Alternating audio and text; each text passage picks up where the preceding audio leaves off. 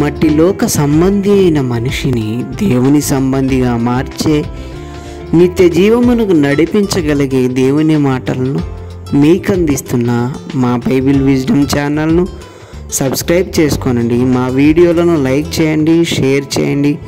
మా ఈ సువార్త పరిచర్య వ్యాప్తికి సహకారులు కండి. దేవుని ఉగ్రతను తప్పించుకోగలవా? దేవుని ఉగ్రతను తప్పించుకోగలవా అనే ఒక అద్భుతమైన సువార్త సందేశాన్ని మనం పరిశుద్ధ గ్రంథములో నుండి ఆలోచిద్దాం ప్రియమైన దేవుని వాళ్ళారా దేవుని ఉగ్రత. పరిశుద్ధ గ్రంథములో ఈ ఉగ్రతను గురించి ఒక మాట మనం చదువుకుందాం ప్రియులారా. జఫనియా గ్రంథము రెండవ అధ్యాయము ఒకటి రెండు వచనాలను మనం ఒకసారి పరిశుద్ధ గ్రంథములో నుండి చదువుకుందాం. సిగ్గుమాలిన జనులారా కూడిరండి. పొట్టు గాలికి ఎగురునట్లు సమయము గతించుచున్నది. విధి నిర్ణయము కాకమునిపే యహోవా కోపాగ్ని మీ మీదకు రాకమునుపే మిమ్ములను శిక్షించుటకై యహోవా ఉగ్రత దినము రాకమునుపే కూడిరండి. ప్రియమైన దేవుని వారలారా పాత నిబంధన గ్రంథంలో నిజంగా వ్రాయబడినటువంటి ఒక అద్భుతమైన మాట ఇది. దేవుని పిల్లలైన వారిని హెచ్చరించే ఒక మాట. ఇక్కడ జఫనియా గారు దేవుని ప్రజలైన వారితో మాట్లాడుతున్న మాట. సిగ్గుమాలిన జనులారా మీరందరూ కూడా కూడి రండి. విధి నిర్ణయము కాకమునుపే ఆ దేవుని కోపాగ్ని మీ మీదికి రాకముందే దేవుని ఉగ్రత మీ మీదికి రాకముందే మీరందరూ కూడా నా సన్నిధికి దేవుని సన్నిధికి కూడి రండి అని పిలుపునిచ్చాడు. ఆలోచించాలి. దేవుని పక్షాన ఈ జఫనియా ప్రవక్త ప్రజలకు పిలుపునిస్తున్నాడు. దేవుని ఉగ్రత రాబోతుంది. సిగ్గుమాలిన జనులారా మీరు మార్పు నుండి దేవుని వద్దకు రండి అని ఆయన పిలుపునిస్తున్నాడు. రాబోయే ఉగ్రత గురించి మాట్లాడుతున్నాడు. ఉగ్రత అంటే మనుషులు చేస్తున్న తప్పుడు పనులకు దేవుడు విధించబోయే శిక్ష. ఉగ్రత అంటే ఉగ్రత అనగా దేవుని కోపం. ఎందుకు దేవునికి కోపం? దేవుని కోసం బ్రతకక మంచి పనులు చేయక ఇష్టానుసారంగా ఈ లోకంలో బ్రతుకుతుంటే దేవుడు అలాంటి వారిని శిక్షించాలి అనుకుంటున్నాడు. ఏమండి? తప్పు చేసిన వారిని పాపము చేసిన వారిని శిక్షించడమే ఉగ్రత. రాబోయే ఉగ్రత గురించి ఇక్కడ మాట్లాడుతూ ఉన్నాడు. పరిశుద్ధ గ్రంథంలో చాలా రకాల ఉగ్రతలు ఉన్నాయండి. రకరకాలుగా దేవుడు తన ప్రజలు పాపము చేసినప్పుడు ఆయన కోపగించుకున్నాడు. రకరకాలుగా శిక్షించాడు. ఈ ప్రకృతిలో ఉన్న వాటిని ఆయన ఉపయోగించుకొని ఆయన తన ప్రజలైన వారిని శిక్షించాడు. కానీ రాబోయే ఉగ్రత అనేది అది చాలా భయంకరమైనది. ఇంతకుముందు వచ్చిన ఉగ్రత లాంటిది కాదు ప్రియమైన దేవుని వారలారా. పరిశుద్ధ గ్రంథంలో చూస్తే ఒకప్పుడు దేవుని ఉగ్రత ప్రజల మీదికి దిగింది. దాని గురించి ఇక్కడ జఫనియా గారు చెప్పడం లేదు కానీ రాబోయే ఒక భయంకరమైన ఉగ్రతను గురించి చెప్తున్నాడు. జరిగిపోయిన ఉగ్రతల గురించి కాదు. మీరు పరిశుద్ధ గ్రంథంలో చూస్తే నోవహు కాలంలో ఏమండి దేవుని ఉగ్రత ప్రజల మీదకి వచ్చినట్లుగా మనం చూస్తాం. ఏ కాలం అది? నోవాహు గారి కాలం. దీని గురించి చెప్తే మీకు అర్థమవుతుంది. నోవహు గారి కాలంలో ప్రజలు ఎలా బ్రతికారనుంది బైబిల్లో? వారు తినుచు త్రాగుచు పెళ్ళాడుచు పెళ్ళిళ్ళకి ఇవ్వబడుచు నారులు నాడుచు వాళ్ళకిష్టం వచ్చినట్టుగా బ్రతుకుతున్నారండి. ప్రియమైన దేవుని పిల్లలారా ఈ లోకంలో దేవుని పనులు చేయవలసిన వారు దేవుని కొరకు బ్రతకవలసిన వారు తమకిష్టం వచ్చినట్టుగా తింటూ త్రాగుతూ ఆనందపడుతూ ఏమండి బ్రతుకుతూ ఉన్నారట. ఈ లోకానికి మనం వచ్చింది ప్రియమైన దేవుని వారలారా తినడానికి త్రాగటానికి ఇష్టం వచ్చినట్టుగా బ్రతకటానికి కాదు. మనం ఈ లోకానికి రావడానికి పలు కారణాలు ఉన్నాయి. జగత్తు పునాది వేయబడక మునిపే మనందరినీ కూడా కావాలి అనుకున్నాడు దేవుడు. ఎందుకో తెలుసా? ఆయనకు మనమంతా మహిమ తేవాలని ఆయనలాగే ఈ లోకంలో బ్రతకాలని ఆయన పనులు మనం ఈ లోకంలో చెయ్యాలి అని దేవుడు మనకు ఈ లోకంలో జన్మనిచ్చాడు. ఈ విషయం ఎంతమందికి తెలుసు? ఈ లోకంలో బ్రతుకుతున్న వాళ్ళు చాలామంది దేవుడు వారికి జన్మనెందుకు ఇచ్చాడో ఎరుగకయ్యే బ్రతుకుతున్నారు. ఎందుకయ్యా నీవు పుట్టావు? ఎందుకయ్యా నీవు బ్రతుకుతున్నావు అంటే తినడానికి త్రాగటానికి సుఖపడి చావటానికే కదా ఈ జీవితం అంటున్నారండి. ఆలోచించాలి ప్రియమైన దేవుని వారలారా. ఈ లోకంలోనికి తినడానికి వచ్చామా మనం? ఈ లోకంలోనికి త్రాగడానికి ఈ లోకంలో సుఖాలు అనుభవించడానికి మనం రాలేదు ప్రియమైన దేవుని వారలారా. ఈ లోకంలో మనం పుట్టడానికి ఎన్నో కారణాలు ఉన్నాయి అందులో ఒకటి ఆయన కోసం మనం ఎన్నో కార్యక్రమాలు చేయాలి. పరిశుద్ధ గ్రంథంలో ఎఫ్ఎస్సీలకు రాసిన పత్రిక రెండవ అధ్యాయము పదో వచనంలో ఈ లోకంలో మానవులకు దేవుడు ఎందుకు జన్మనిచ్చాడో తన అరచేతుల్లో పెట్టి మానవులను ఎందుకు చెక్కుకున్నాడో వ్రాయబడింది ప్రియులారా. మానవ జన్మ ఎందుకు జరిగిందో చూడండి. మరియు వాటి యందు మనము నడుచుకొనవలెనని దేవుడు ముందుగా సిద్ధపరచిన సత్క్రియలు చేయుటకై మనము క్రీస్తు యేసునందు సృష్టించబడిన వారమై ఆయన చేసిన పని అయి ఉన్నాం. దేవుడు మనల్ని ఎందుకు చేశాడట? దేవుడు ముందుగానే మన కొరకు కొన్ని పనులు సిద్ధం చేశాడు. ఏమిటి ఆ పనులు? సత్క్రియలు చేయాలట. ఏం చేయాలి? సత్క్రియలు చేయాలి. ఈరోజు ఇదిగో ఇక్కడ జరుగుతున్న ఈ పని ఏంటో తెలుసా? ఇది సత్క్రియ. ఇక్కడ జరుగుతున్న ఈ కార్యక్రమం ఏంటి? ఇది సత్క్రియ. అంటే వాక్యాన్ని ప్రకటించటం దేవుని గురించి ప్రకటించటం. ఈ లోకానికి వచ్చిన మనం అందరం ఎందుకు పుట్టాము అంటే ఈ లోకంలో ఆయన గురించి చెప్పడానికి ఆయన కార్యక్రమాలు మనం చేయడానికి ఆయనలాగే తన కొరకు మనము బ్రతకడం కొరకే ఈ లోకంలో పుట్టాము. చాలామంది ఎందుకు పుట్టారో తెలియక ఈ లోకంలో మనుషుల కోసమే పుట్టామని అనుకొని లోకం కోసం మనుషుల కోసమే బ్రతుకుతున్నారు. వాళ్ళ సుఖాల కోసమే బ్రతుకుతున్నారు. పుట్టుట గిట్టుట కొరకే అంటున్నారు. అంటే పుట్టింది చావడానికేనట. ఇంకేం కారణం లేదా? ఆలోచించండి.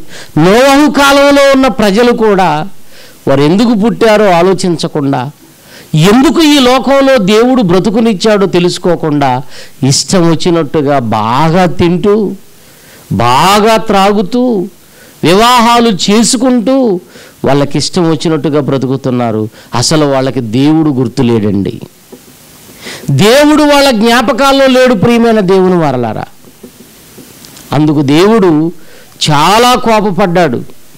ఏం చేశాడు ఆయన? ఆయన భయంకరమైనటువంటి తుఫానును వర్షాన్ని ఆయన రప్పించి జల ప్రళయాన్ని రప్పించి ఆయన ఈ లోకంలో ఉండకుండా ఆనాటి ప్రజలను నాశనం చేశాడు. నానా రెండవ పేతురు రెండవ అధ్యాయము ఐదో వచనం. మరియు ఆయన పూర్వకాలమందున్న లోకమును జాగ్రత్తగా వినండి. పూర్వకాలమందున్న లోకం అంటే నోవహు కాలంలో ప్రజలండి వాళ్ళు. పూర్వకాలమందున్న లోకమును విడిచిపెట్టక భక్తిహీనుల సమూహము మీదికి జల ప్రళయాన్ని రప్పించాడట. ఏమి రప్పించాడు? భక్తిహీనుల సమూహము మీదికి జల ప్రళయమును రప్పించినప్పుడు నీతిని ప్రకటించిన అంటే తన జన్మకు కారణాన్ని తెలుసుకొని నన్ను దేవుడు పుట్టించింది తన కొరకే తనను గురించి ప్రకటించటానికే తనను గురించి తెలియచేయటానికేనని తెలుసుకున్న నోవాహును మాత్రమే దేవుడు ఏం చేశాడట? తప్పించాడు కాపాడెను. తప్పించి నోవాహును మరి ఏడుగురిని కాపాడను. చూశారండి? మరి ఏడుగురిని కాపాడు మరి మిగతా వాళ్ళంతా? ఆనాటి కాలపు ప్రజలంతా ఏమైపోయారు? జల ప్రళయంలో నాశనమైపోయారు. ఒక్క నీతిని ప్రకటించిన నీతి అంటే వాక్యం. దేవుని గురించి ప్రకటించిన నోవాహును మాత్రమే దేవుడు బ్రతకనిచ్చాడు. ఆ తర్వాత నోవహు మాట విన్న తన కుటుంబ సభ్యులు ఎంతమంది? మరొక ఏడుగురు ఎనిమిది మంది రక్షింపబడ్డారు. మిగతా వాళ్ళందరూ ఏమైపోయారు? జలప్రళయంలో నాశనం అయిపోయారండి అది దేవుని ఉగ్రత. బైబిల్లో ఇలాంటి ఉగ్రతలు ఎన్నో ఉన్నాయి. కానీ ఈరోజు మీకు చెబుతున్నది జరిగిపోయిన ఉగ్రతలు కాదు. రాబోయే ఉగ్రత ఒక భయంకరమైన ఉగ్రత ఉంది. దాని గురించి జఫనియా ప్రవక్త ప్రవచించారు. దాని గురించి మీకు ఈరోజు ఈ రాత్రి చెప్తాను. నోవాహు కాలంలో ఉగ్రత దిగింది. ఆ ఉగ్రతలో ప్రచండమైన ఏమండి జలము భూమి మీదకి వచ్చిందండి. దేవుడట ఆకాశపు తూములు విప్పాడట వాళ్ళందరినీ నాశనము చేయడానికి నాశనం చేయడానికి. దేవుడు నోవహుని పిలిచి నాయన వీళ్ళందరూ కూడా భయము భక్తి లేకుండా భక్తిహీనులుగా బ్రతుకుతున్నారు. ఈ భక్తిహీనుల సమూహము మీదికి నేను జలప్రళయం రప్పించబోతున్నాను. ప్రచండమైన వర్షం ఎంతకాలం అండి? నలభై పగళ్ళు నలభై రాత్రులు నేను వర్షం కురిపించబోతున్నాను. కాబట్టి భూమి మీదకు విస్తారమైన నీళ్ళు వస్తాయి. మరి నిన్ను నీవు కాపాడుకోవటం కోసం నీ మాటలు విన్నవారిని కాపాడుకోవటం కోసం నీవు ఒక ఓడను తయారు చేసుకో ఆ ఉగ్రత నుండి కాపాడబడడానికి. ఆ భయంకరమైన ఉగ్రత నుండి కాపాడబడాలంటే నేను చెప్పినట్టుగా నువ్వు ఒక ఓడను తయారు చేయమన్నాడండి. ఎందుకు వాడ ఆ ఉగ్రత నుండి తప్పించుకోవటానికి. దేవుడు చెప్పగానే ఓడ కట్టడం ప్రారంభించాడు. ఎవరొచ్చారు తనకు సహాయంగా? అంటే తన కుటుంబం తప్ప ఎవరు? రాలేదు. మిగతా వాళ్ళందరూ ఏం చేశారో తెలుసా? హేళన చేస్తూ బ్రతికారండి. ఏమని? ఏమయ్యా నోవహు వాడ కడుతున్నావేంటి? ఇక్కడ కట్టడం ఏంటయ్యా వాడ? నీళ్ళున్న చోట వాడ కట్టాలి. నువ్వేంటి ఇక్కడ కడుతున్నావు అంటే ఆయన అన్నాడు నీళ్ళే ఇక్కడికి రాబోతున్నాయి అని చెప్పాడండి. ఆ జల ప్రళయం నుండి రక్షింపబడడానికి దేవుడిది కట్టమన్నాడు. నా మాట విని మీలో ఎవరైనా మనసు మార్చుకొని దేవునికి విధేయులై దేవుని మాటకు లోబడి ఈ ఓడలోకి ఎవరైతే వస్తారో వాళ్ళు కాపాడబడతారు. రండి అని పిలుపునిస్తే ఒక్కడు కూడా రాలేదు. అంటే నోవాహు కుటుంబము తప్ప ఒక్కళ్ళు కూడా రాలేదు. వచ్చింది ఎవరు? నోవాహు కొడుకులు నోవహు కోడళ్ళు నోవహు భార్య. ఎనిమిది మంది మాత్రమే ఓడలోనికి వచ్చారు. మిగతా వాళ్ళంతా నాశనం అయిపోయారు. నాశనం అయిపోయారండి. వర్షం స్టార్ట్ అయిపోయింది. ఒకరోజు వస్తుంది రెండు రోజులు వచ్చింది మూడు రోజులు వచ్చింది. ఆ ప్రజలందరూ ఏమనుకుంటున్నారంటే ఎప్పటిలాగే ఏదో ఇది తుఫాన్ అనుకుంటా అనుకున్నారండి. మనిషికి పేకల వరకు గొంతు వరకు వచ్చేంతవరకు ఏది అర్థం కాదు. నీళ్ళు కూడా అంతవరకు వచ్చాయి. అప్పుడు అర్థమైంది. ఎవరి మాట అర్థమైంది? నోవాహు గారు చెప్పిన మాట అర్థమైంది. ప్రచండమైన వర్షం కురవబోతుంది. జల ప్రవాహం రాబోతుంది. రండి అని చెప్పిన మాట అప్పుడు అర్థం చేసుకొని అందరూ కట్టగట్టుకొని వాడ దగ్గరకు వచ్చారు. వచ్చి నోవహును పిలుస్తున్నారు. నోవహు గారు తలుపు తీయండి. మేము రక్షింపబడాలి. ఈ ఉగ్రత నుండి కాపాడబడాలి అంటుంటే లోపల నుండి నోవహు గారు మాట్లాడుతున్నారు. ఏమని? తలుపు తీసి ఉన్నంత కాలం మీరు రాలేదు కదా. ఇప్పుడు దేవుడు తలుపు వేశాడు. దేవుడు తలుపేస్తే నేను ఎలా తీయగలను? ఇక మీరు మీ గతి అంతే సంగతి. ఇక మిమ్మల్ని రక్షించే నాదుడు లేడు. ఓడ తలుపులు తీయబడినంతకాలం నేను ప్రకటిస్తూ వచ్చాను వాక్యాన్ని. మీరు రాలేదు. ఇక మిమ్మల్ని ఎవరు రక్షించలేరు. ఆ దేవుడు కూడా మిమ్మల్ని కాపాడడు.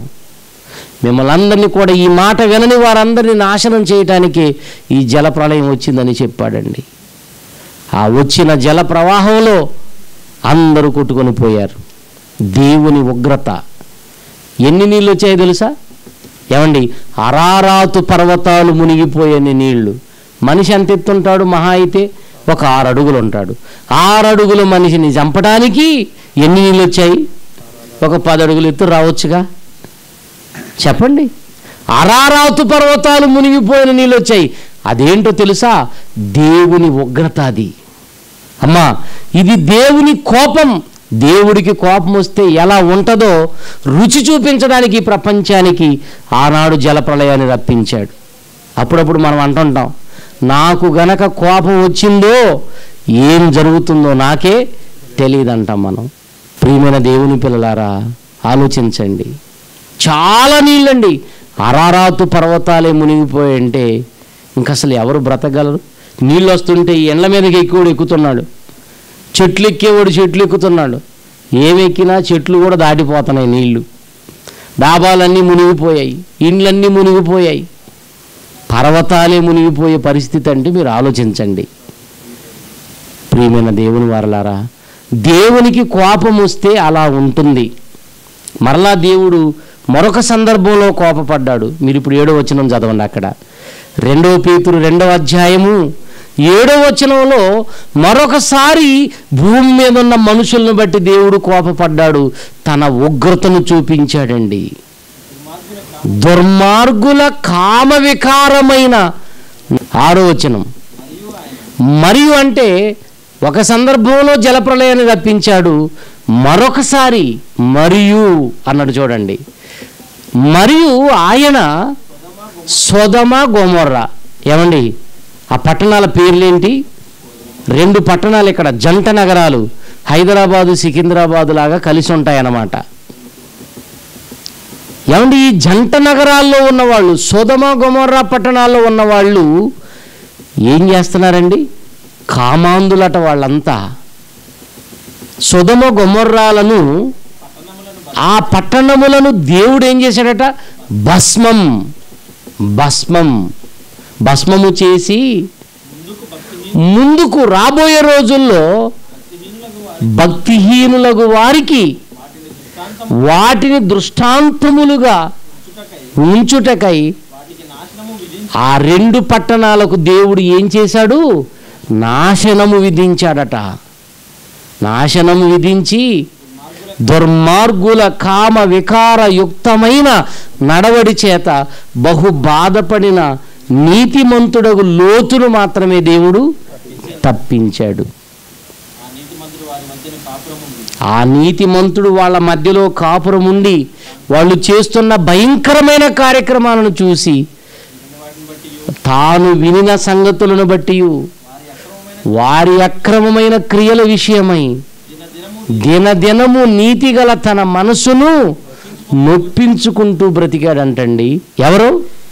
అమ్మ లోతుగారు లోతుగారండి సుధమ గుమర పట్టణాలను దేవుడు చూశాడండి. ఆ సుధమ పట్టణాల్లో ఉన్న ఆ మొరట దేవుని సన్నిధికి చేరిందటండి.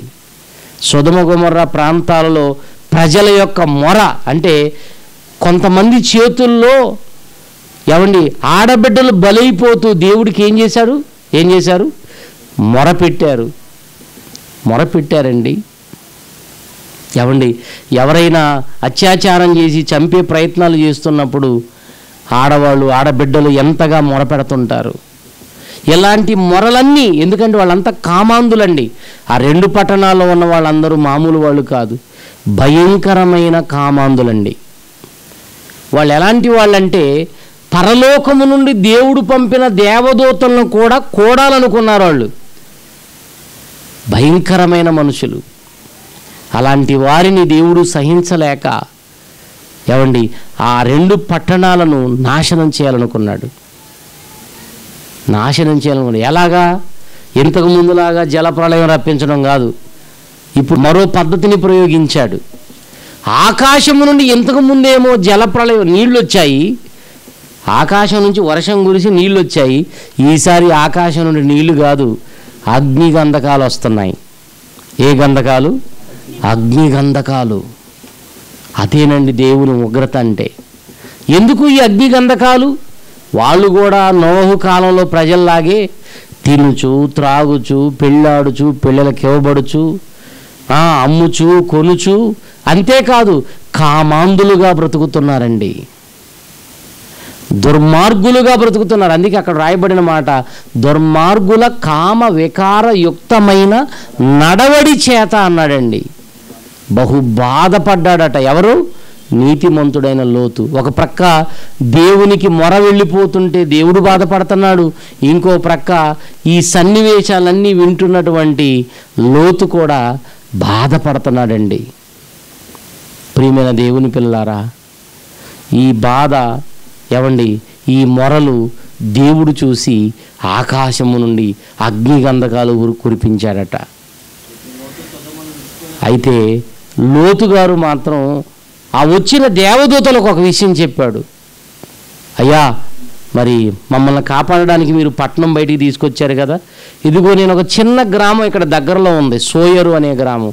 అక్కడికి వెళ్ళేంత వరకు ఈ పట్టణాలను మీరు నాశనం చేయొద్దని అడిగాడండి. వాళ్ళు ఏమన్నారు సరే మంచిది. వెళ్ళేటప్పుడు వెనకకు తిరిగి చూడకుండా వెళ్ళమని దేవుడు చెప్పాడండి. వాళ్ళు వెళ్ళిపోయిన తర్వాత మధ్యలో లోతుబారి ఉపస్తంభం అయిపోయింది వెనక తిరిగి చూసి. ఆ తర్వాత సోయరు అనే గ్రామానికి వెళ్ళిన తర్వాత అక్కడికి వెళ్ళిన తర్వాత వెనకకి తిరిగి చూశాడు. ఎవరు? లోతు. ఆ పొగట ఆవము పొగవలే ఆకాశానికి ఎగిసి పడుతుందటండి. ఆ పొగ చూసినప్పుడు నిజంగా లోతు గారికి అర్థమైంది ఇది దేవుని భయంకరమైన ఉగ్రత.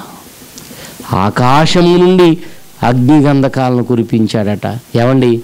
ఏమండి? మనుషులను దేవుడు చంపాలంటే ఆకాశం నుంచి అగ్నిగంధకాలే కురిపించాల్సిన అవసరం లేదు. సూర్యుని నుంచి వచ్చే వేడికి కూడా మనం చచ్చిపోతాం.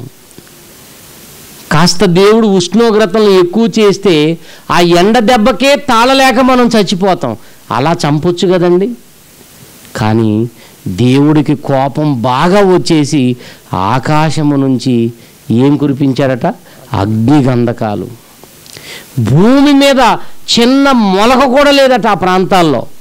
అమ్మా పచ్చని మొలక లేకుండా మొత్తాన్ని బూడిద చేసి పెట్టాడు. ఇదేంటో తెలుసా?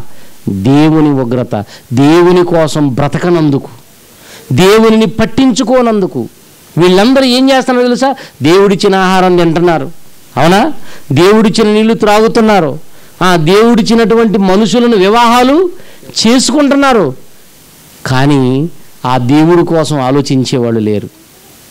ప్రియులారా ఈరోజు ప్రపంచంలో ఉన్న ప్రజలను చూడండి.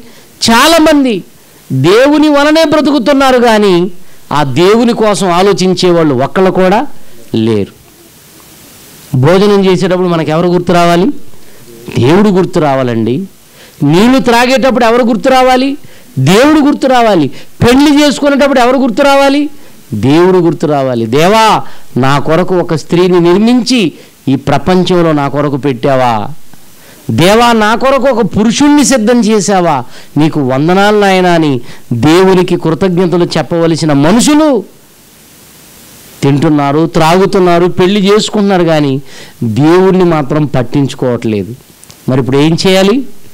దేవుణ్ణి పట్టించుకోనందుకు ఏం చేయాలి?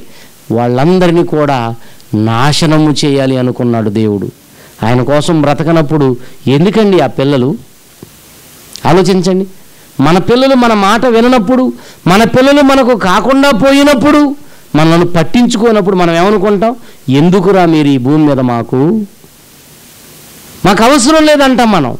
దేవుడు కూడా అంతేనండి. ఎలాంటి వారు నాకు అవసరం లేదని ఆకాశము నుండి అగ్నిగంధకాలు కురిపించి వాళ్ళందరినీ ఏం చేశాడు? సొదమ గొమర్ర పట్టణాల్లో ఉన్న వారిని నాశనము చేశాడు. ఈ రెండు సందర్భాలు ఎందుకు చెప్పానంటే అసలు దేవుని ఉగ్రత అంటే ఎలా ఉంటుందో మనకి తెలియాలి ప్రియమైన దేవుని పిల్లలారా. ఈ మధ్యకాలంలో కూడా మనందరికీ తెలిసి దేవుని ఉగ్రత భూమి మీదకి వచ్చింది. ఏమిటో అది చెప్పగలరా? కరోనా. భయంకరమైనటువంటి పరిస్థితులండి.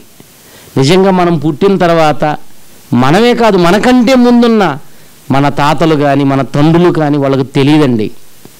ఇలాంటి పరిస్థితులు వాళ్ళకు తెలియదు ఇలా కరోనా వైరస్ అనేది రావటం నిజంగా భయంకరంగా మరణాలండి.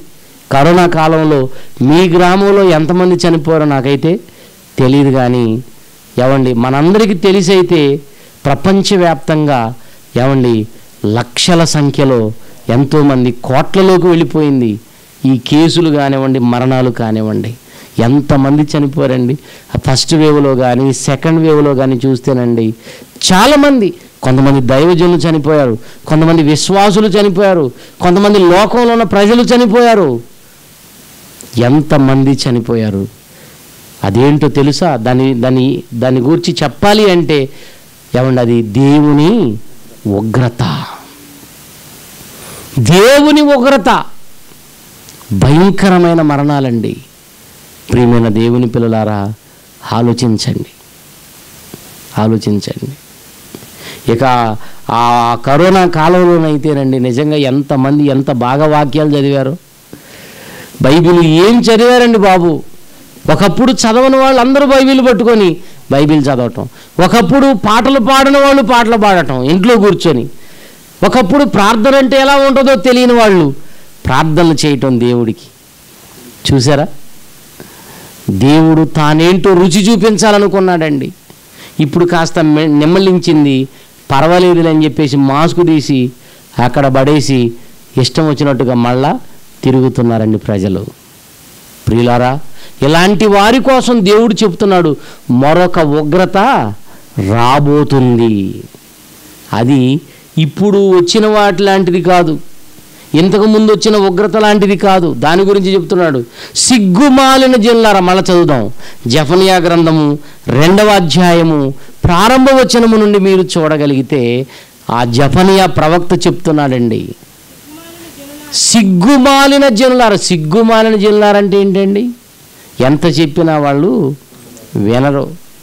నేను ఈ తప్పుడు పనులు చేస్తుంటే ప్రజలు ఏమైనా అనుకుంటారేమోనని కూడా లేదు సిగ్గు లేదు. సిగ్గుమాలిన జనులారా మీరు కూడి రండి. పొట్టు గాలికి ఎగిరిపోయేటట్లుగా సమయము గతించిపోతుంది. విధి నిర్ణయము కాకముందే. మీకు స్పాట్ పెట్టకముందే. మిమ్ములను శిక్షించుటకై యహోవా ఉగ్రత దినము రాకమునిపి అన్నాడంటే వచ్చిందా? జఫనియా గారి కాలానికి ఆ ఉగ్రత ఇంకా రాలేదు గనక రాబోయే ఉగ్రత గురించి చెబుతున్నాడు. అది రాకమునిపే అది రాకమునిపే మీరందరూ కూడి దేవుని దగ్గరకు రండి. ఆయన మాటల కోసం రండి. ఆయన సన్నిధికి రండి.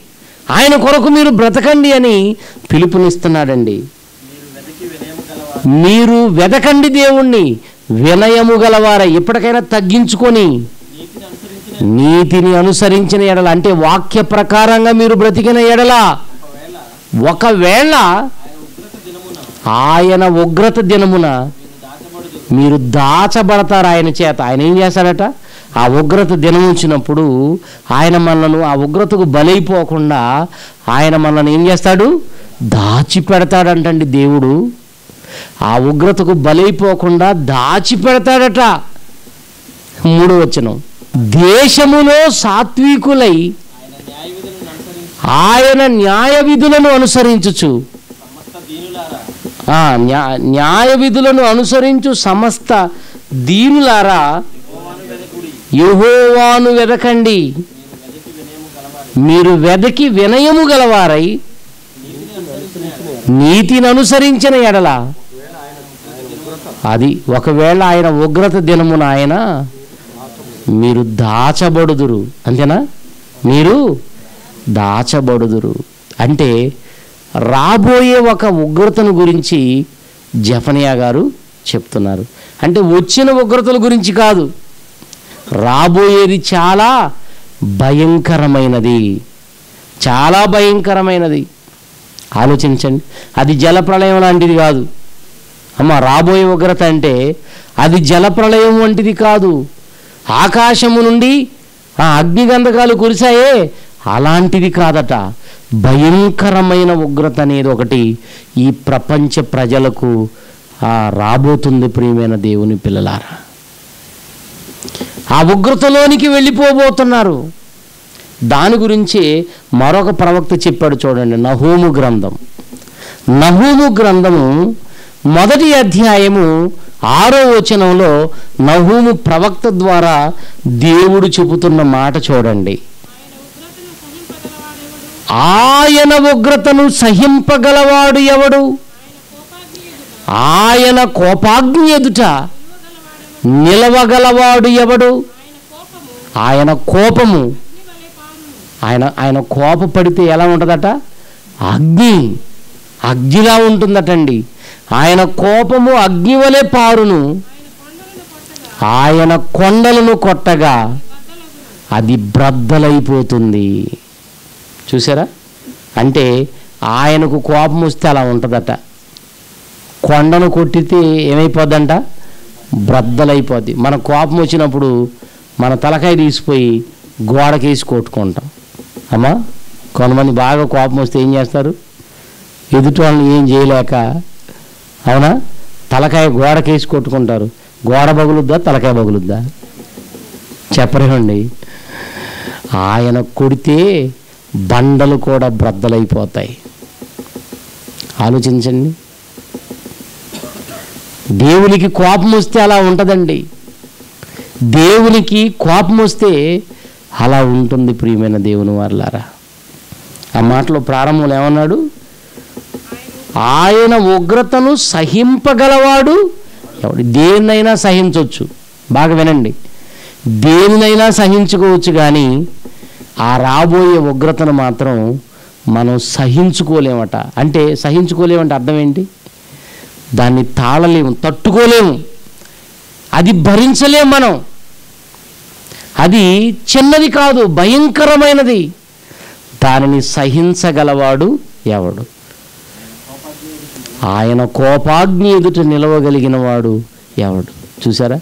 ఈ ప్రపంచ ప్రజలు ఇలాంటివి పట్టించుకోకుండా సంపాదనలో మునిగిపోయారండి. ప్రపంచ ప్రజలు ఎందులో మునిగిపోయారు? సంపాదన సంపాదన.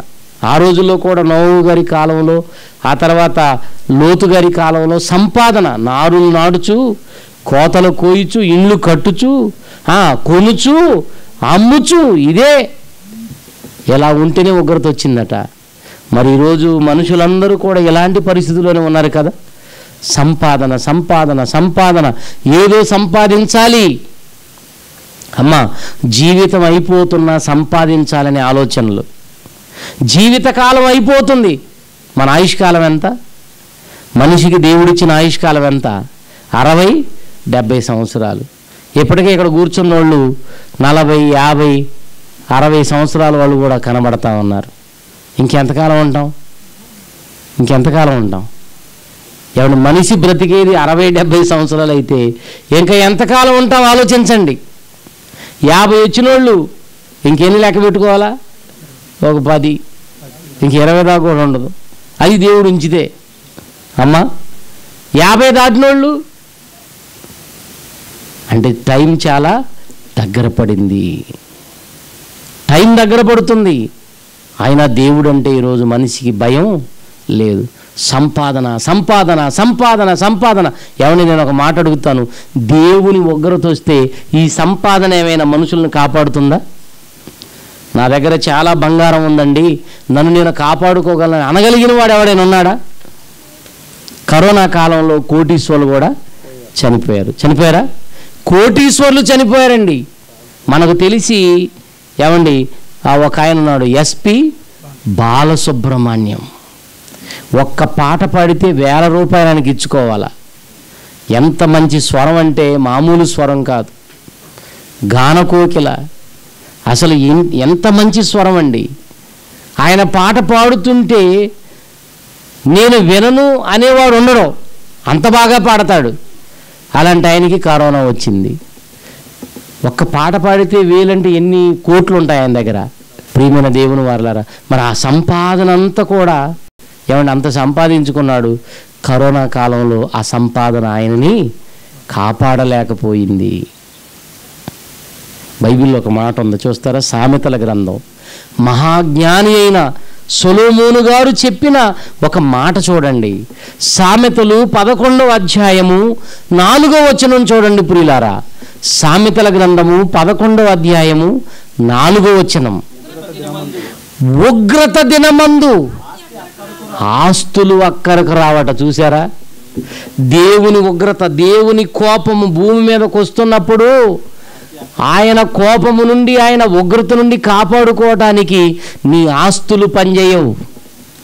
ఉగ్రత దినమందు నీ ఆస్తి నీకు అక్కరకు రాదు. రెండో మాట చెప్పాడు చూడండి నీతిగా బ్రతికితే ఆ ఉగ్రత నుండి ఆ మరణము నుండి రక్షింపబడతావు. అమ్మా ఎలా బ్రతకాలి? ఏం సంపాదించుకోవాలి మనం? నీతిని. ఏం సంపాదించాలి? నీతి. నీతిని సంపాదించుకో ఉగ్రత నుంచి కాపాడబడతావు. అదే నీ ఆస్తులు నీ ధనం నీ బంగారం ఇవేవి కూడా నీకు అక్కరకు రావు ఆ రోజు. అక్కడ ఉన్న మాట చూస్తేనండి ఏమండి ఉగ్రత దినమందు నీ ఆస్తి. నాకు ఆస్తులు ఉన్నాయి నాకు కోట్ల రూపాయల డబ్బులు ఉన్నాయి నాకు బంగారం ఉంది నాకు వెండి ఉంది నాకు పలుకుబడి ఉంది. రాజకీయ నాయకులు కూడా నాకు బాగా తెలుసు. ఎవడో ఒకడు నన్ను ఆదుకుంటాడు. ఎవరో ఒకరు నన్ను రక్షిస్తారు. నాకున్న ధనమే నన్ను కాపాడుతుందని నువ్వు అనుకుంటున్నావా? దేవుడు అంటున్నాడు నా ఉగ్రత దిగిన రోజు ఆ ఉగ్రత నుంచి కాపాడడానికి నీ ఆస్తులు అక్కరకు రావు. ఆస్తులు అక్కరకు రావు. ప్రియమైన దేవుని పిల్లలారా ఆస్తులు కాదు సంపాదించవలసింది. దేవుని నీతిని దేవుని వాక్యాన్ని దేవుని జ్ఞానాన్ని మనం సంపాదించుకుంటే ఈ జ్ఞానము దేవుని ఉగ్రత నుంచి మనలను కాపాడుతుంది. ఈ వాక్యము కాపాడుతుంది. ఈరోజు మీ మధ్యకు వచ్చి ఈ మాటలు మేము ఎందుకు చెప్పాలండి? ఎందుకు చెప్పాలి? మాకు అవసరం లేదు మీరు ఇచ్చేవి. ఏమండి? ఈ మాటలు మిమ్మల్ని కాపాడతాయి గనక ఆ భయంకరమైన ఉగ్రత రాకముందే మనం మరణించక ముందే ఈ మాటలు విని వాటి ప్రకారంగా బ్రతికితే మనం రక్షింపబడతాం. అందుకే మీ మధ్యకి మేము వచ్చాం. కొందరినైనా కాపాడాలి. కొంతమందికైనా వాక్యం చెప్పాలి. చూసారా? రాబోయే ఉగ్రత. ఏ ఉగ్రత? రాబోయే ఉగ్రత. దాని గురించి క్రొత్త నిబంధన కాలంలో బాప్తిజం ఇచ్చి యోహాను గారు ఏం చెప్పారో మనం చదువుదాం బైబిల్లో మత్తయిసు వార్త మూడవ అధ్యాయము ఏడో వచనం చదువుదాం. అందరూ చూడండి. దేవుని ఉగ్రత రాబోయే ఉగ్రత గురించి చెప్తున్నాడు. మత్తయి మూడు ఏడు. అతడు పరిశైలలోను సద్దుకైలలోను అనేకులు బాప్తిస్మము పొంద వచ్చినప్పుడు వాళ్ళను చూచి ఏ సంతానం అంట అమ్మా ఏ సంతానం? ఎంత ధైర్యం అండి ఆయనకి. ఆనాటి ప్రజలను చూసి అసలు యూదులు మామూలు కాదండి. అలాంటి వాళ్ళ మధ్యన వాళ్ళని అంటున్నాడు సర్ప సంతానమా అంటున్నాడండి. మనం కనుక ఎవరినైనా చూసి సర్ప సంతానం అన్నాం అనుకోండి పామును కొట్టాడు కొట్టి చంపుతారు మనల్ని. నువ్వే పెద్ద సర్పాని అని క- కర్ర తీసుకొని మనల్ని కొట్టి చంపుతారు. వాళ్ళు మాత్రం మామూలు వాళ్ళు భయంకరమైన మనుషులండి. యూదులంటే ఎలాంటి వాళ్ళు మీకు తెలియటం కోసం చెప్తాను. తెర మీద చూశారు కదండి? యేసుక్రీస్తు వారి సన్నివేశాలు దృశ్యరూపకంగా చూపించాం. వాళ్ళకి కనికరం ఉండదండి. ఎంత భయంకరంగా శిక్షించారండి. ఆయన చనిపోయేంతవరకు ఆయన వదిలిపెట్టలేదండి. బైబిల్ గ్రంథంలో ఒక స్టెఫెనును వాళ్ళు రాళ్ళతో చావగొట్టారు. నిజంగా శిష్యులను ఎంత భయంకరంగా హింసించారు. మామూలు వాళ్ళు కాదు. మామూలు వాళ్ళు కాదని అలాంటి వాళ్ళ మధ్యన ఏమన్నాడు తెలుసా? సర్ప సంతానమా అది ఆ మాట చూడండి. రాబోయే ఉగ్రత. ఇంతకు ముందు వచ్చిన ఉగ్రతలు కాదు. ఇక్కడ చెబుతున్న ఉగ్రత ఇంతకు ముందు వచ్చిన ఉగ్రత లాంటిది కాదు. జలప్రళయం లాంటిది ఏదో అగ్నిగంధకాలు లాంటిది అది కాదు. లేకపోతే ఏదో రోగాలు ఏదో భయంకరమైన కరువులు. ఒకప్పుడు ఉగ్రత ఎలా ఉండేదండి? భయంకరమైన కరువులు వచ్చేవి. అది కూడా ఉగ్రతే. భయంకరమైన రోగాలు వచ్చేవి ప్రజలకి. అది ఉగ్రతే.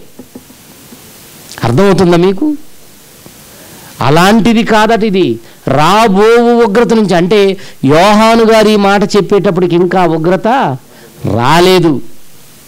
జఫనియా గారి కాలంలో రాలేదు. నహూము గారి కాలంలో రాలేదు.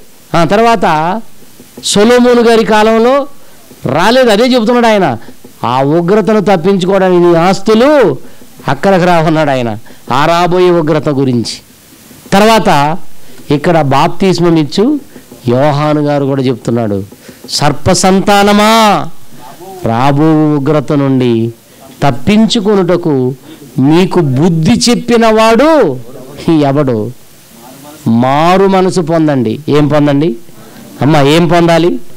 మారు మనసు పొంది మారు మనసునకు తగిన ఫలాలు మీరు ఫలించండి. మారండి మంచి ఫలాలు ఫలించండి. అంటే రాబోయే ఉగ్రత తప్పించుకోనంటే ఏం చేయాలి? ఆస్తులు సంపాదించుకోవడం కాదు. దేవుని వాక్యం విని మనసు మార్చుకోవాలి. అది ఆ మాటలకు అర్థం. రాబోయే ఆ దేవుని భయంకరమైన ఉగ్రత కా తప్పించుకోవాలంటే అందులో నుండి కాపాడబడాలి అంటే ప్రియమైన దేవుని పిల్లలారా దేవుని మాటలు విని మనసును మార్చుకోవాలి. ఈరోజు ఈ మాటలు చెప్పడానికి వస్తే ఎంతమంది వచ్చారు? ఆలోచించండి. మరి ఆ ఉగ్రత నుంచి మిగతా వాళ్ళు తప్పించుకోగలుగుతారా? ఈ మాటలు వినబడుతుంటే ఇవి మావి కావులే. ఇవి మాకు సంబంధించినవి కావులే. మేము వినవలసినవి కావులే. ఇదేదో ఒక వర్గానికి సంబంధించింది. ఏదో ఇది ఒక మతానికి సంబంధించిన మత ప్రచారం అనుకున్నారు. ఇది మతం కాదు. నిన్ను పరలోకానికి చేర్చే మార్గం. క్రైస్తవ్యం అంటే మతం కాదు. మతం కాదు. ఇది మార్గం. నీవు ఈ మార్గంలోకి వస్తే ఈ మాటలు విని మనసు మార్చుకుంటే ఒక భయంకరమైన ఉగ్రత ప్రపంచానికి రాబోతుంది. దానిని తప్పించుకోగలుగుతారు. మారు మనసుకు తగిన ఫలాలు. అంటే మనసు మార్చుకోవాలి. ఆ మారు మనసుకు తగిన ఫలాలు కూడా మీలో కనిపించాలి అంటున్నాడండి. కనిపించాలి. కనిపించాలి. ఇంతకు ఆ ఉగ్రత ఏంటో చూస్తారా? ఆ రాబోయే ఉగ్రత ఏంటో అసలు దేని గురించి చెప్తున్నాడో ఒక్కసారి యేసుక్రీస్తు వారి మాటలు చూద్దాం. మత్తైసు వార్త. మత్తైసు వార్త ఇరవై మూడవ అధ్యాయము ముప్పై మూడవ వచనం. ఆ రాబోయే ఉగ్రత ఏంటో చెప్తున్నాడు చూడండి. మత్తైసు వార్త ఇరవై మూడవ అధ్యాయం ముప్పై మూడవ వచనం ప్రియులారా. సర్పములారా అంటే అక్కడ మాటే ఇక్కడ అంటే రాబోయే ఉగ్రత అంటే ఏంటో చెప్పడానికి చెబుతున్నాడండి ఆయన. సర్పములారా సర్ప సంతానమా అది రాబోయే ఉగ్రత అంటే. అర్థమవుతుందా? ఇంతకు ప్రవక్తలందరూ చెప్పుకుంటూ వచ్చింది ఏ ఉగ్రత? బాప్తిస్మమిచ్చి యోహాను గారు చెప్పింది ఏ ఉగ్రత? ఇదిగో ఇక్కడ యేసుక్రీస్తు వారు చెబుతున్నారే యోహాను గారు తర్వాత యోహాను గారి పరిచర్య కాలం తర్వాత మరలా యేసుక్రీస్తు వారు వచ్చారండి. అంటే ఆయన ఉన్న కాలంలోనే వచ్చారు. ఆయన ఉన్న కాలంలోనే పరిచర్యకు వచ్చారు. ఆయన చెప్తున్నారు సర్పములారా అసలు ఆ వివరణ చూడండి. సర్పములారా సర్ప సంతానమా నరక శిక్ష రాబోయే ఆ ఉగ్రత ఉగ్రత అంటే దేవుడు విధించే శిక్ష. ఉగ్రత అంటే ఏంటి? పాపం చేసిన వారికి దేవుడు విధించే శిక్ష. అదే దేవుని ఉగ్రత. అది నరక శిక్ష. చెప్పండి ఏ శిక్ష? నరకం. అమ్మా నరకం. నరకం అంటే ఎలా ఉంటుంది? ఒక ఆయన అన్నాడు రాత్రి దోమలు నరకాన్ని చూపించాయిరా అంటున్నాడు. ఏం చూపించాయంట? దోమలంట నరకాన్ని చూపించాయంట. అంటే నరకంలో ఉండే బాధ దోమకాటు లాంటిది దోమపోటు లాంటిది అనుకుంటున్నారండి. దోమ కుడితే ఎలా ఉంటుందా? అలా ఉంటుంది అనుకుంటున్నారా కాదు. అది కాదు. ప్రియమైన దేవుని పిల్లలారా నరక శిక్ష. ఏ శిక్ష? నరక శిక్ష. అంటే ప్రపంచానికి దేవుడు విధించబోయే శిక్ష ఏంటంటే నరకం. అది ఎక్కడుంది? అమ్మ నరకం ఎక్కడుంది? పాతాళ లోకంలో ఉంది. పాతాళంలో ఉంది నరకం. పాతాళమందు నరకములో ఒక మూలకు త్రోయబడ్డాడు ఒకప్పుడు. వాడెవడు? సాతాను. వాడిని అనుసరించిన వారందరూ ఆ నరకానికి వెళ్ళిపోవాలి. నరకానికి వెళితే అక్కడ బాధ ఎంత భయంకరమో ఏమండి? దాని నుంచి తప్పించుకోవాలంటే ఎలాంటి ప్రయత్నాలు ఇక్కడ చేయాలో యేసుక్రీస్తు వారి మాటలు మీరు చూడగలరా? మార్కుసు వార్త. మార్కుసు వార్త మార్కుసు వార్త తొమ్మిదో అధ్యాయము నలభై మూడో వచనం నుంచి చదువుదామండి. నలభై మూడో వచనం. మార్కుసు వార్త తొమ్మిది నలభై మూడు. నీ చెయ్యి నిన్ను అభ్యంతరపరచిన ఎడలా. ఏదంట? అప్పుడప్పుడు మన చేతులే మనల్ని ఏం చేస్తుంటాయి? దేవుడి కోసం బ్రతకకుండా అభ్యంతరపరుస్తుంటాయి. ముట్టుకోకూడని వాటిని ముట్టుకోవడానికి ప్రయత్నం చేస్తుంటాయి మన చేతులు. అంటే నిన్నేం చేస్తున్నాయి? అభ్యంతరపరుస్తున్నాయి ఈ చేతులు. నీ చెయ్యి నిన్ను అభ్యంతరపరిచిన ఎడల దాన్ని ఏం చేయమన్నాడు? నరకం అంటున్నాడండి. ఎందుకో తెలుసా? రాబోయే ఉగ్రత అంత భయంకరమైనది. ఆ తర్వాత నీవు రెండు చేతులు కలిగి నరకములోని ఆరని అగ్ని ఏ అగ్ని అది? అక్కడ నరకంలోనంట అగ్ని ఆరదంటండి. అమ్మా నరకంలో అగ్ని ఆరదు ఎక్కడైనా మరి ఎవరైనా నిప్పు పెట్టారనుకోండి ఒక ఇంటికో లేకపోతే పొలానికో పెట్టారనుకోండి అదేమవుతుంది? కొద్దిసేపటికి ఖాళీ ఖాళీ ఆరిపోతుంది. నరకములో అగ్ని మాత్రం ఆరదు. ఆరని అగ్ని అగ్ని ఆరదు అక్కడ నువ్వు చచ్చిపోయే పరిస్థితులు లేవు. అది తప్పించుకోవాలంటే చేతులు అభ్యంతర పరిస్థితి వాటిని ఏం చేయమన్నాడు? నరికేయమన్నాడు. తర్వాత నీ పాదము నిన్ను అభ్యంతరపరిచిన ఎడల దానిని కూడా నరికేయమన్నాడు. ఎందుకు? రెండు పాదములు కలిగి నరకములో పడవేయబడుట కంటే కుంటివాడవై నిత్య జీవంలో పరలోకంలో ప్రవేశించటం నీకు మేలు కదా అంటూ నలభై ఎనిమిది వచనంలో అంటున్నాడు. నరకమున వారి పురుగు చావదు అగ్ని ఆరదు. నరకమున వారి పురుగు పురుగు అంటే లైట్లోకి వచ్చే పురుగు కాదు. నరుడే ఆ పురుగు. నరునిలో ఉన్న ఆత్మే పురుగుతో పోల్చబడింది. బైబిల్లో పురుగు వంటి యాకోబు అన్నాడు దేవుడు. అంటే యాకోబు ఎలాంటి వాడంట? అంటే యాకోబులో ఉన్న ఆత్మను గురించి మాట్లాడుతున్నాడు. పురుగు. అగ్ని ఆరదు పురుగు చావదు. మామూలు ఉగ్రత కాదు. ఏమండి? జలప్రళయమైనా వచ్చింది ఎన్ని రోజులు? జలప్రళయం ఎన్ని రోజులు వచ్చింది ఉగ్రత? నలభై పగళ్ళు నలభై రాత్రులు వర్షం కురిసింది. ఆ జల ప్రవాహంలో కొట్టుకుపోయారు. నీళ్ళు కొంతకాలం భూమి మీద ఉన్నాయి. మరి అగ్ని గంధకాలు? ఆ భూమి మీద ఉన్న మొలకలు కాలిపోయేంతవరకే ఆ మనుషులు నాశనం అయిపోయేంతవరకే వచ్చాయి. కానీ ఇప్పుడు నరకంలోకి వెళితేనండి నరకంలోకి వెళితే ఇక అగ్ని ఆరదు పొరుగు చావదు. ఎప్పుడు యుగయుగాలు యుగయుగాలు కాలిపోవాలి. ఎందుకు? ఈ భూమి మీద దేవుని మాటలు విననందుకు. ఈ భూమి మీద దేవుని మాటలు విని మనసు మార్చుకోనందుకు దేవుని కొరకు బ్రతకనందుకు భయంకరమైన కార్యాలు చేసినందుకు కామాంధులుగా జీవించినందుకండి కటకట కట ఏడవాలి ప్రియమైన దేవుని పిల్లలారా. అక్కడ ఏడుపును పండ్లు కొరుకుటయు ఉండును అనుంది. ఏమేమి ఉంటాయంటే అక్కడ? నరకానికి వెళ్తే రెండు పనులు ఉంటాయి. ఏంటా పనులు? కొద్దిసేపు ఏడవటం కొద్దిసేపు పళ్ళు కొరుక్కోవటం.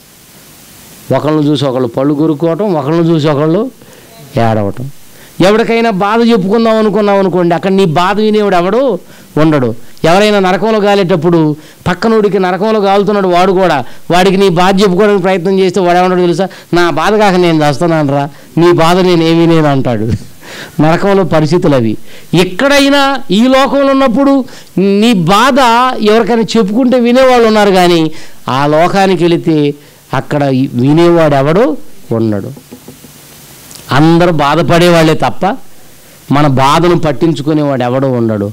అదే రాబోయే భయంకరమైన ఉగ్రత. రాబోయే ఉగ్రత అండి. దాని నుంచి తప్పించడానికే దేవుడు మనల్ని ప్రేమించి రెండు వేల సంవత్సరాల క్రితం మహనీయుడైన యేసుక్రీస్తు వారిని దేవుడు ఈ లోకానికి పంపించాడు. ఈ మాట కొద్ది మంది విన్నా చాలు ఈ గ్రామంలో. ప్రియమైన దేవుని వారలారా రాబోయే భయంకరమైన ఉగ్రత నుంచి కాపాడడం కొరకే యేసుక్రీస్తు వారు ఈ లోకానికి రెండు వేల సంవత్సరాల క్రితం వచ్చారు. వచ్చిన ఆయన ఈ ప్రపంచం కోసం ఏం చేశాడు? ఆయన సిలువలో తన రక్తాన్నంతా ధారపోసి ఆయన సిలువలో మరణించి సమాధి చేయబడి ఆయన మూడో రోజున సమాధిలో నుండి తిరిగి లేచాడు. యేసుక్రీస్తు వారి మాటలు ఎవరైతే వింటారో ఆయనకు ఎవరైతే విధేయులవుతారో ఆ రాబోయే ఉగ్రతను తప్పించుకుంటారు వాళ్ళు. చూస్తారా బైబిల్లో మాట? యోహాను సువార్త మూడవ అధ్యాయము ముప్పై ఆరో వచనం చూడండి ప్రియులారా. యోహాను సువార్త మూడవ అధ్యాయము ముప్పై ఆరో వచనాన్ని చూడగలిగితే కుమారుని యందు ఎవరా కుమారుడు? ఆయనే యేసుక్రీస్తు. కుమారుని యందు విశ్వాసముంచువాడు నిత్య జీవము గలవాడు. కుమారుని మాటలు యేసుక్రీస్తు వారి మాటలు విని ఎవరైతే విధేయులు కారో విధేయుడు కానివాడు జీవము నిత్య జీవమును చూడడు గాని దేవుని ఉగ్రత వాని మీద నిలిచే ఉంటుంది ఎంతకాలమైనా. నిలిచే ఉంటుంది. నిలిచి ఉండే ఉగ్రత గురించి చెప్తున్నాడు. అర్థమవుతుందా మీకు ఈ మాటలు? అమ్మా రెండు వేల సంవత్సరాల క్రితం యేసుక్రీస్తు వారు ఎందుకు వచ్చారు? ఆ రాబోయే భయంకరమైన ఉగ్రత ఆ నరకము నుండి ఆ పాతాళంలో అగ్ని జ్వాలలలో నుండి మనల్ని కాపాడడానికి వచ్చాడండి. యేసుక్రీస్తును ఈ ప్రపంచం ఎలా చూస్తుంది? ఆయనకి తలవాల్చుకోవడానికి చోటు లేదు కదా. మమ్మల్ని ఏం చేస్తాను అనుకుంటున్నారా? ఆయనకేం ఆస్తులు లేవు కదా. ఆయన మమ్మల్ని ఏం చేస్తాడు? మమ్మల్ని ఏం కాపాడుతాడని మీరు అనుకుంటున్నారా? ఆయన ఆస్తులు సంపాదించడానికి రాలేదు. ఆత్మలను రక్షించడానికి వచ్చాడు. దానికి గాను తన రక్తాన్ని దారపోశాడు. ఎందుకంటే రక్తము చిందించకుండా పాపాలకు క్షమాపణ లేదు. ఈ ప్రపంచంలో ఉన్న మనుషులు చేసిన పాపాలను ఆయన పరిహరించడం కోసం తన రక్తాన్నంతా దారపోసాడండి ఎవరైతే ఈ లోకంలో ఉన్నవాళ్ళు యేసుక్రీస్తు వారు నా కొరకే ఈ లోకానికి వచ్చాడు నా పాపముల నుండి ఆయన నన్ను పరిశుద్ధునిగా చేయటానికి తన రక్తాన్ని చిందించాడు. చనిపోయి ఆయన సమాధి చేయబడి మూడో రోజు తిరిగి లేచిన గొప్ప మహనీయుడని ఎవరైతే ఆయన నమ్ముతారో ఆయన మాటలకు లోబడతారో వాళ్ళు రాబోయే ఉగ్రతను తప్పించుకుంటారు. నిజంగా మాట ఎంత బాగుందండి. మరలా చూడండి. కుమారుని యందు విశ్వాసముంచువాడు ఆయన నమ్మాలండి. యేసుక్రీస్తును నమ్మాలి. రాబోయే ఉగ్రతను తప్పించుకోవాలంటే ఆయన మాటలకు విధేలై బ్రతకాలి. ఏమన్నాడు? కుమారుని యందు విశ్వాసముంచువాడు నిత్య జీవము గలవాడు నిత్య జీవం పరలోకం. యుగ యుగాలు ఆనందంగా ఉండే లోకం అది. పరలోకం కావాలా? అయితే యేసుక్రీస్తు మాటలు మనం వినాలి. ఆయన నమ్మాలి. ఆయనను రక్షకునిగా స్వీకరించాలి. ఆయన మాటలకు విధేయులమై బ్రతకాలి. ఎవరైతే విధేయులు కారో వారు జీవమును చూడరు కానీ దేవుని ఉగ్రత వారి మీద యుగయుగాలు యుగయుగాలు యుగయుగాలు అనంతకాలం నిలిచి ఉంటుంది. అది ఒక్కరోజు వచ్చిపోయేది కాదు. ఎలా తట్టుకోగలమండి? ఎలా తాళగలం? రోమాపత్రిక ఐదో అధ్యాయము తొమ్మిదో వచనం. పౌలు గారు చెప్తున్నారు చూడండి. రోమా పట్టణములో ఉన్న క్రీస్తు సంఘానికి పౌలు గారు ఉత్తరాన్ని రాస్తూ చెప్తున్నాడు. రోమా ఐదో అధ్యాయం తొమ్మిదో వచనం. కాబట్టి ఆయన రక్తం చూసారండి రెండు వేల సంవత్సరాల క్రితం ఆయన వచ్చి ఎందుకు రక్తాన్ని దారపోసాడో తెలుసా? ఆయన రక్తము వలన ఇప్పుడు మనము నీతిమంతులముగా తీర్చబడి మరి నిశ్చయముగా ఆయన ద్వారా ఎవరి ద్వారా? యేసుక్రీస్తు ద్వారా ఈ గ్రామములో ఉన్న దేవుని పిల్లలారా యేసుక్రీస్తు వారు రెండు వేల సంవత్సరాల క్రితం ఎందుకు వచ్చారో తెలుసా? రాబోయే ఉగ్రత నుంచి కాపాడడానికి. ఆయన రక్తం ఎందుకు దారపోశాడో తెలుసా? ఆయన కాపాడడానికేనండి.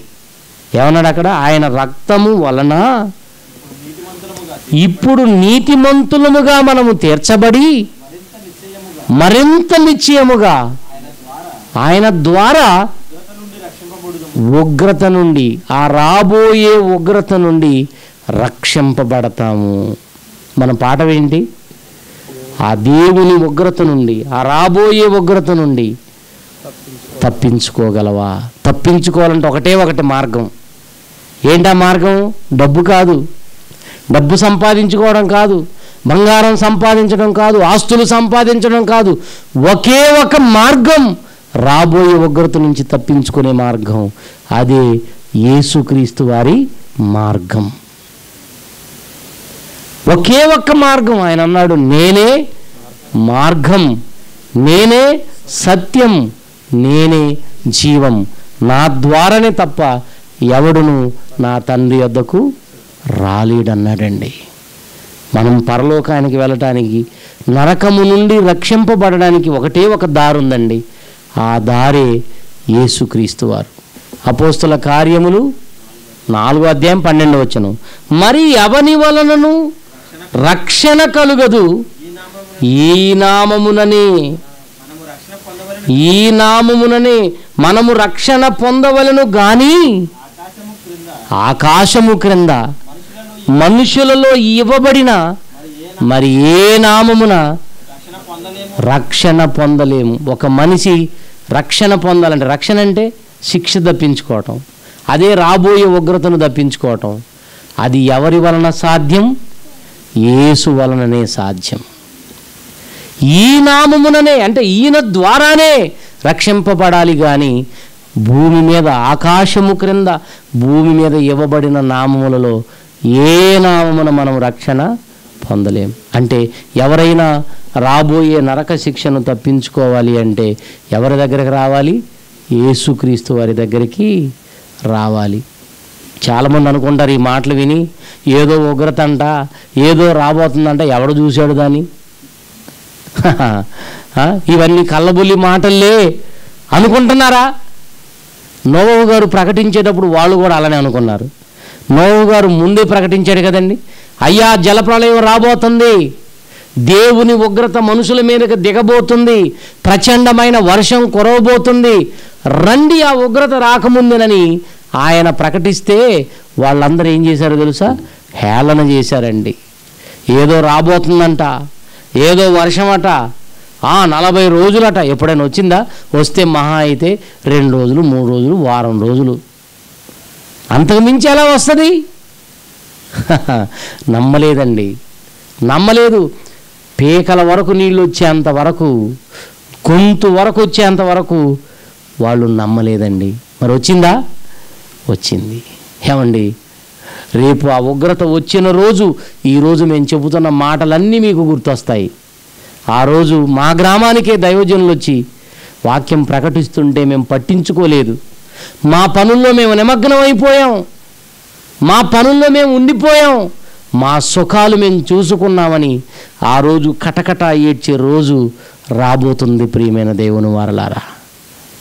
మిమ్మల్ని శపించడానికి మేము రాలేదు కానీ ఈ మాటలు విని మీ మనసు మీరు మార్చుకుంటే ఆ రాబోయే ఉగ్రత నుంచి తప్పించబడతాం. తప్పించుకోగలుగుతాం. ఆలోచించండి. ఒక్క మాట మనం పరిశుద్ధ గ్రంథంలో చూద్దాం. కొలసీలకు రాసిన పత్రిక మూడవ అధ్యాయం ఐదు నుండి ఆరు వచనాలు చదవండి. యేసుక్రీస్తును నమ్మిన తర్వాత ఈ లోకంలో మనం ఎలా బ్రతికితే ఆ రాబోయే ఉగ్రతను తప్పించుకోగలుగుతామో పౌలు గారు చెప్తున్నాడండి.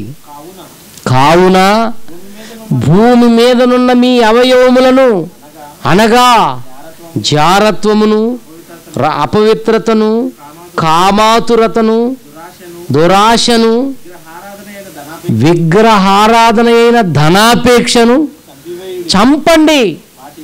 ఏమేం చంపాలి? ఏమేం చంపన్నాడమ్మా మన శరీరంలో పుట్టేటటువంటి ఏంటవి? జారత్వం అపవిత్రత కామాతురత. ఆ కామాతురతకి కదా వాళ్ళు బలైపోయింది? సుధమ గుమర్ర పట్టణంలోని వాళ్ళు. కామాతురత దుర ఆ? దురాశ విగ్రహారాధనైన ధనాపేక్ష. అంటే ధనం మీద వ్యామోహం. అదే చెప్పాను కదా ఈరోజు డబ్బు సంపాదించటంలో ఏమండి మనుషులు నిమగ్నం అయిపోయారు. పిచ్చి ఎక్కువైపోయింది. ఈ వ్యామోహాన్ని తీసివేసుకోండి అంటున్నాడండి. ఈ ధన వ్యామోహాన్ని తీసివేసుకోండి. చంపివేయండి. వాటి వలన చూసారండి ఇది రాబోయే ఉగ్రత. వాటి వలన దేవుని ఉగ్రత అవిధేయులైన వారి మీదకి వచ్చును అంటే ఈ మాటలు ఎవరైతే పట్టించుకోరో ఈ మాటలు ఎవరైతే పెడచెవిన పెడుతున్నారో ఎవరైతే యేసుక్రీస్తు దగ్గరకు రారో ఆయనను రక్షకునిగా అంగీకరించరో ఆయనకు ఎవరైతే విధేయులు కారో వారందరూ కూడా ఆ ఉగ్రతకు బలైపోతారట. చూసారండి వీటన్నిటిని మీరు చంపండి. చంపితే ఏం జరుగుతుందో చెప్పాడు కదా? ఏమన్నాడు అక్కడ? వాటి వలన వాటి వలన. అంటే వీటిని మీలో ఉంచుకోవడం వలన దేవుని ఉగ్రత అవిధేయుల మీదకి వస్తుంది. వాటిని చంపటం వలన ఉగ్రత నుంచి తప్పించుకుంటాం. వాటిని ఉంచుకుంటే ఉగ్రత నీ మీదకి వస్తుంది. ఎలాంటి వాటన్నిటిని నీవు చంపగలిగితే దేవుని ఉగ్రత నుంచి నీవు తప్పించుకుంటావు ఇవి మామూలువి కాదండి ఈ కోరికలు. చంపాలి ఈ ఆశలను మనం చంపాలి. వీటిని చంపకపోతే అవే మనలను చంపుతాయి రేపు. అర్థమవుతుందా? వీటిని చంపకపోతే అవే నిన్ను చంపుకు తింటాయి రేపు. వీటి కోసం యుగ యుగాలు బలైపోతామండి. అప్పుడప్పుడు అనిపిస్తూ ఉంటుంది. ఈ భూమి మీద ఈ చిన్న జీవితం కోసం ఆలోచించి ఈ చిన్ని చిన్ని సుఖాల కోసం ఆలోచించి ఆ భయంకరమైన ఉగ్రత పొందుకోవటం ఎంత భయంకరం అండి అందుకే ప్రియులారా మీకు ఈ మాటలు అర్థమైతే ఈ కోరికలు ఈ తప్పుడు ఆలోచనలు మనలో పుడుతున్నప్పుడు వాటి నుండి మనం బయటపడాలి. వాటిని చంపాలి. చంపాలి. చంపితే మనం కాపాడబడతాం. వాటి వలన ప్రమాదం ఉంది. అప్పుడప్పుడు ఇంట్లోకి ఏదో విషసర్పాలు జ్వరబడుతుంటాయి అవునా? పాములు వస్తుంటాయి. ఇంట్లోకి పాము వస్తే ఏం చేస్తారు? ఉండని ఇంట్లో ఒక వారం రోజులు అంటారు ఎవరైనా. అమ్మా మీ ఇంట్లో పాము వచ్చిందనుకోండి. మీ ఇంట్లో పాము వస్తే ఇంట్లో ఎవరైనా భార్య కానీ భర్త కానీ పిల్లలు కానీ బంధువులు కానీ ఎవరైనా ఉండనీలే ఒక వారం రోజులు అనేవాళ్ళు ఉంటారు ఎవరైనా? ఇంట్లో ఎంతమంది ఉన్నా అందరి మాట ఏంటి? పాము ఇంట్లో దూరితే ప్రతి ఒక్కళ్ళ మాట ఏంటంటే చంపండి చంపండి చంపండి. ఉండనివ్వండి అనేవాడు ఒకడు ఉండడు. ఉండనివ్వండి అని అంటే కర్రతో మనమే ఒక ఈటేస్తాం వాడిని. అవునా? ఏంట్రా ఉండనిమ్మంటున్నావు మేము చావాలని ఉందా? ఎలా ఉంది నీకు? ఎందుకు చంపమన్నారండి ప్రతి ఒక్కళ్ళు?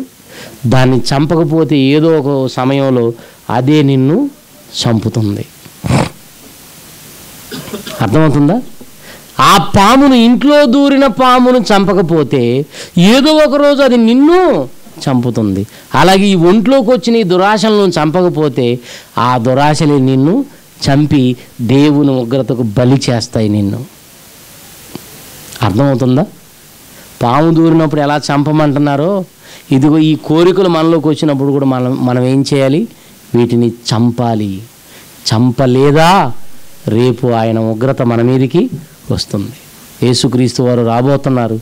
ఆయన వచ్చిన తర్వాత వచ్చే ఉగ్రత అది. అవునా? ఆయన రాబోతున్నారు. ఆయన వస్తే ఆయన కోసం బ్రతికిన వారు ఆయన కొరకు బ్రతకని వారు ఈరోజు ఈ మాటలు వింటున్నవారు ఈ మాటలు వినని వారు అందరూ కూడా ఆయన ముందు నిలబడతారట.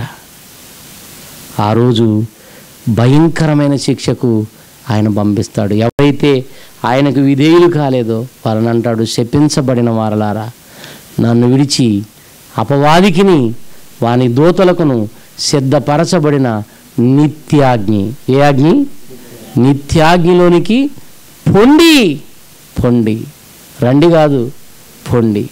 రండి పరలోకానికి అని చెప్పాలంటే ఆయన రాజ్యమును మీరు స్వతంత్రించుకోండి. ఆయన సంఘముతో పాటు ఆ పరలోకంలో ప్రవేశించండి అని నీతో చెప్పాలి అంటే మనం ఈ లోకంలో ఉండగానే ఏమేం చేయాలండి? దేవుని మాటలు వినాలి. అలాగే మారు మనసు పొందాలి. మారు మనసుకు తగిన ఫలాలు ఫలించాలి.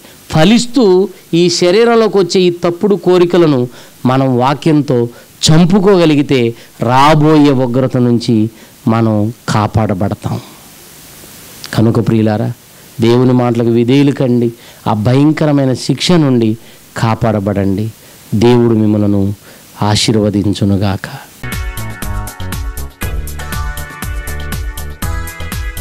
ఇలాంటి మరెన్నో వీడియోస్ కొరకు ఇప్పుడే మా బైబిల్ విజ్డమ్ ఛానల్ను సబ్స్క్రైబ్ చేసుకోండి.